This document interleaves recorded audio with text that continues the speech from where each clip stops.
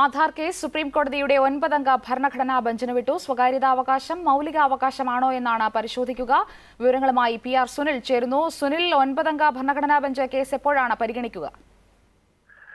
സുജയ നാളെ ഉച്ചയ്ക്കാണ് ഒൻപതംഗ ഭരണഘടനാ bench Aadhaar case പരിഗണിക്കുക. ആധാർ കേസിലെ സ്വകാര്യത അവകാശം മൗലിക അവകാശമാണോ എന്ന വിഷയം മാത്രമായിരിക്കും ഒൻപതംഗ ഭരണഘടനാ ബെഞ്ച് പരിഗണിക്കുക. നേരത്തെ ആധാറിന്റെ ഭരണഘടനാ സാധ്യത പരിശോധിക്കാനാണ് അഞ്ചംഗ ഭരണഘടനാ ബെഞ്ച് രൂപീകരിച്ചതും ഇന്ന് കേസിൽ വാദം കേൾക്കൽ ആരംഭിച്ചു. ഇന്ന് രാവിലെ കേന്ദ്ര സർക്കാരിന് വേണ്ടി ഹാജരായ attorney general K K Venugopal പറഞ്ഞത് നേരത്തെ എട്ടംഗ സുപ്രീം കോടതി ബെഞ്ച് സ്വകാര്യത അവകാശം മൗലിക അവകാശമല്ല എന്ന വിധി പുറപ്പെടുവിച്ചിട്ടുണ്ട്. ആയിരത്തി തൊള്ളായിരത്തി അൻപത്തിനാലിലും ആയിരത്തി തൊള്ളായിരത്തി അറുപത്തി ഒന്നിലും സമാനമായ വിധികൾ ഉണ്ടായിട്ടുണ്ട്. അതുകൊണ്ട് തന്നെ അഞ്ചംഗ ഭരണഘടനാ ബെഞ്ചിന് ഈ കേസ് പരിഗണിക്കാൻ ഇല്ല എന്ന് കെ കെ വേണുഗോപാൽ ചൂണ്ടിക്കാട്ടി. ഈ പശ്ചാത്തലത്തിലാണ് സ്വകാര്യത അവകാശം മൗലിക അവകാശമാണോ എന്ന വിഷയം മാത്രം ഒൻപ ഒൻപതംഗ ഭരണഘടനാ ബെഞ്ചിനെ വിട്ടിരിക്കുന്നത്. നാളെ ഉച്ചയ്ക്ക് ഒന്നര മണിക്ക് ഒൻപതംഗ ഭരണഘടനാ ബെഞ്ച് ഈ വിഷയം പരിശോധിക്കും.